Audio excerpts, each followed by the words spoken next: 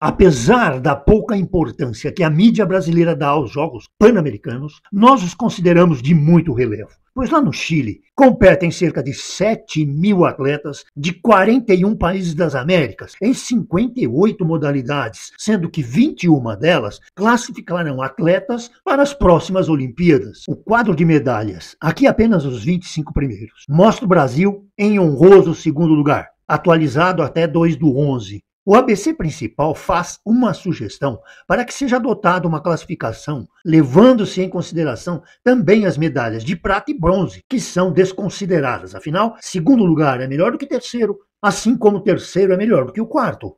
Compare as classificações nas duas formas.